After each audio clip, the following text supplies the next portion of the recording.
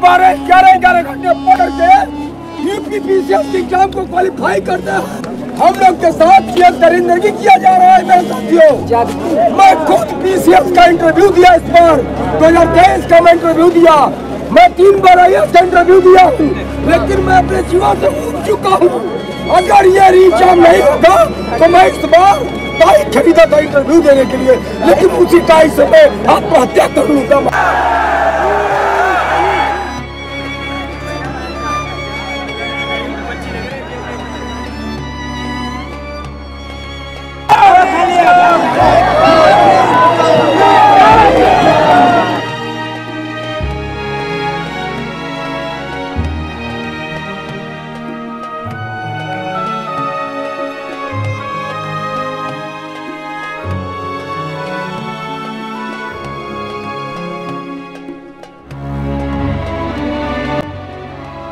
सूरवीर की धरती करा रही, अब ना हो रहा बर्दाश्त।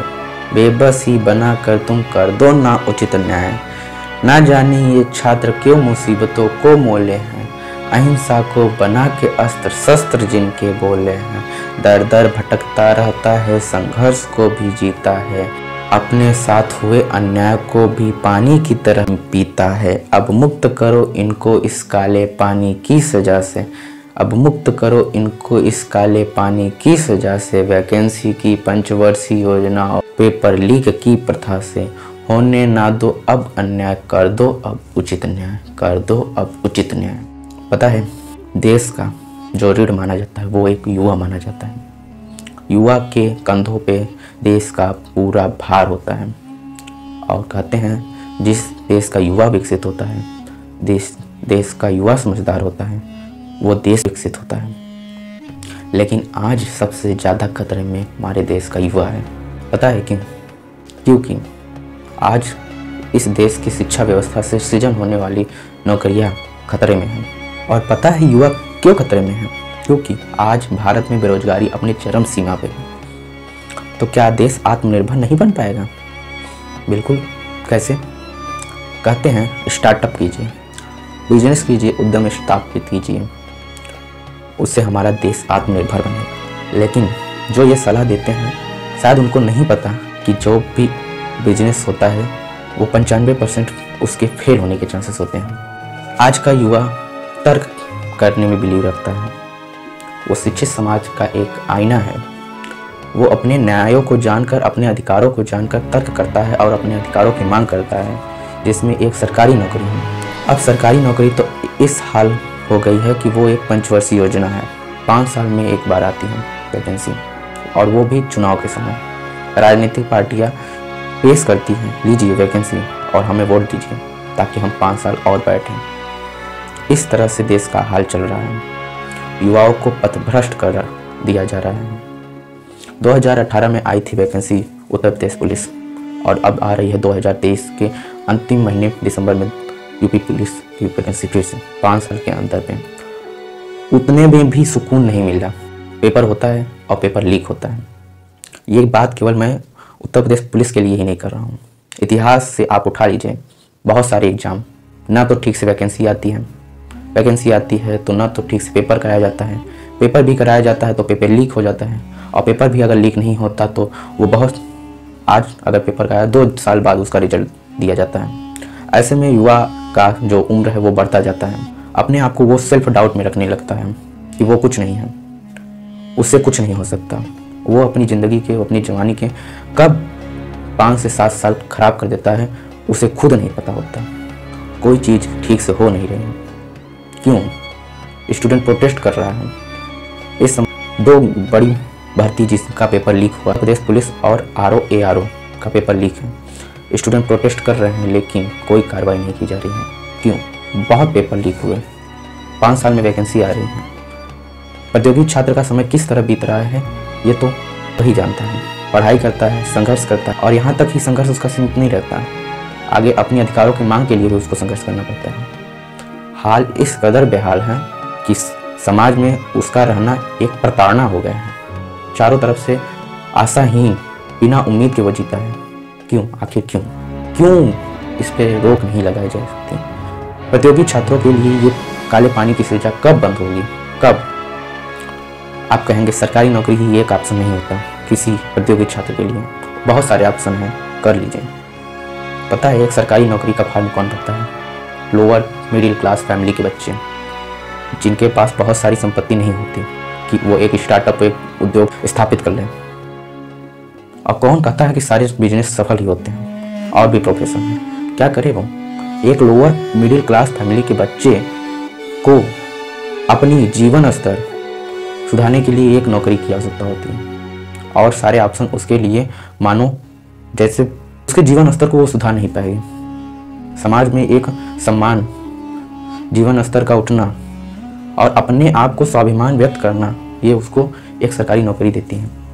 और उस सरकारी नौकरी का वो फार्म भरता है, ताकि अपने जीवन को, अपने समाज में अपनी प्रतिष्ठा बना सके।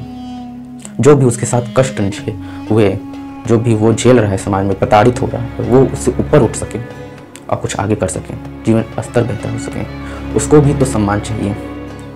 हर वर्ग को सम्मान की ज़रूरत है, लेकिन आज लोअर मिडिल क्लास के बच्चों को उतना सम्मान नहीं मिल पा रहा है।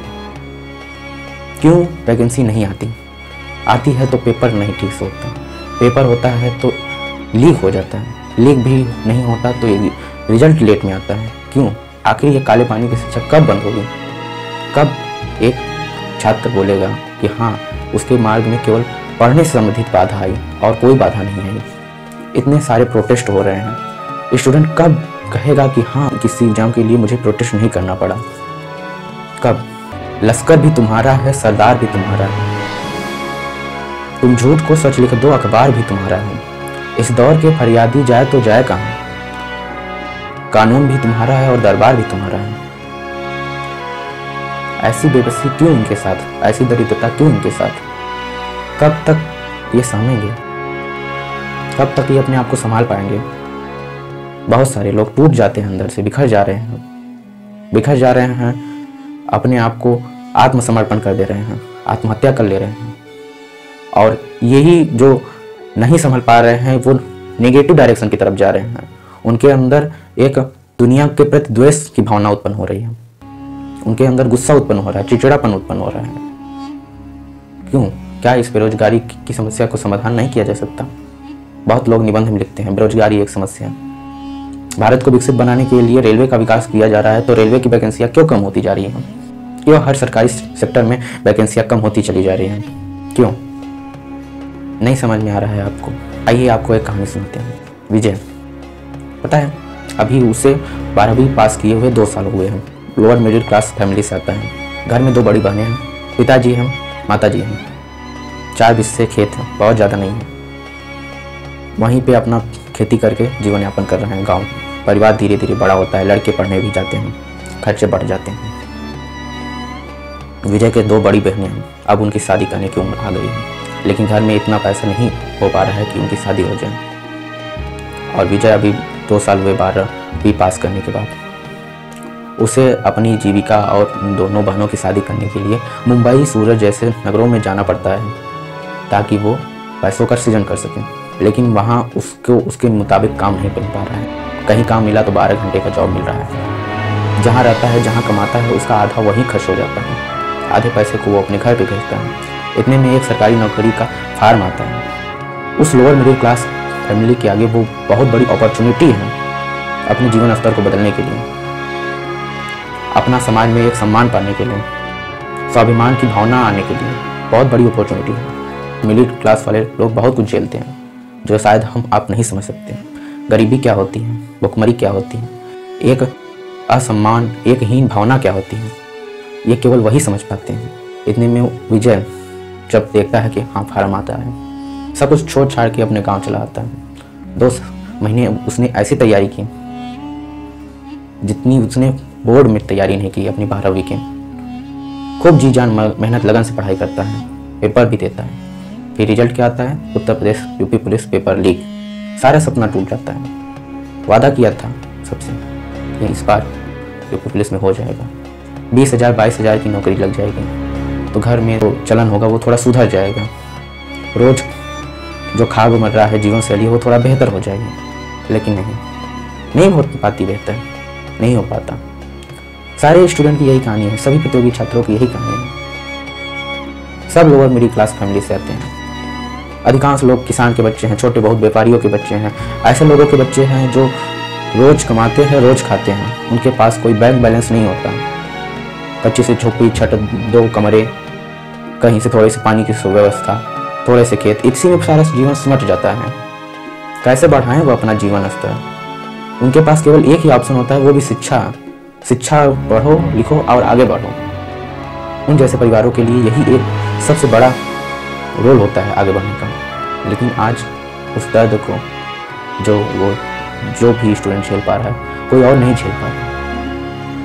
स्टूडेंट के दर्द को कोई देख नहीं पा रहा। है कोई सुन नहीं पा रहा है कोई समझ नहीं पा रहा है। आखिर कब तक, कब उसे आज़ादी मिलेगी इस काले पानी की सजा से? कब?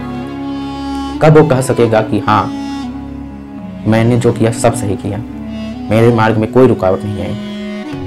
कब? ये आवाज़ उठाइए आप, और ये आवाज़ आपको उठानी पड़ेगी। ये बंद होगा। कब? किस दिन मुक्ति मिलेगी, किसी भी इस प्रतियोगी छात्र को इसमें कब मिलेगी। अभी एग्ज़ाम रिकैंसिल भी हो जाता है। दोबारा होगा। क्या चांसेस है कि दोबारा पेपर लीक नहीं होगा? इस बात का तय सुनिश्चित करना पड़ेगा कि आगे फ्यूचर में ऐसी गलतियाँ नहीं होगी। किसी भी प्रतियोगी छात्र को ये चीज़ दोबारा न देखनी पड़े। ये बात सुनिश्चित करना होगा। ये बात सुनिश्चित करना होगा।